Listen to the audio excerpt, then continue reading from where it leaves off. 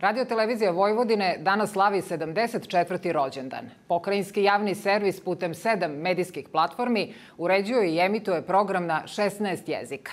A u narodnom periodu i zaposlene i gledaoce očekuju velike promene. Poručeno je prilikom obeležavanja rođendana naše kuće.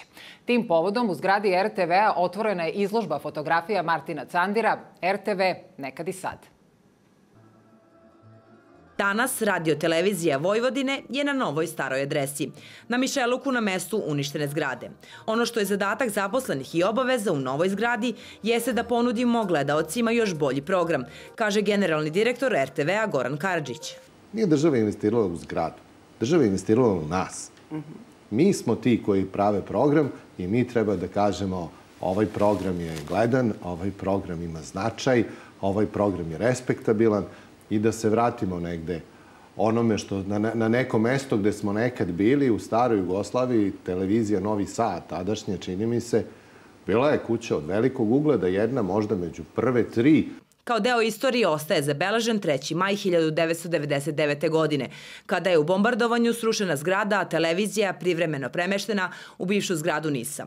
Taj pogled od nekad prema sad zabeležio je novosadski fotograf Martin Candir.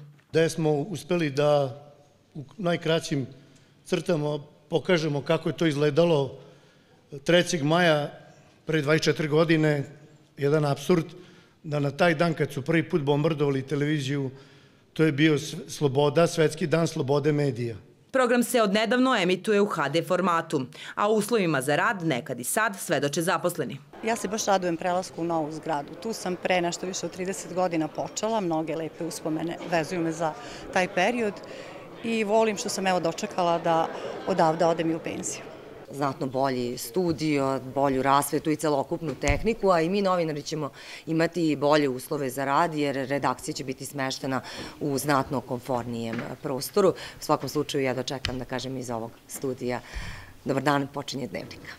Gledaoci od nas u 2024. godini mogu da očekuju najviše promena i program po kojem će RTV postati prepoznatljiv, poručuju zajedno zaposleni u radioteleviziji Vojvodine.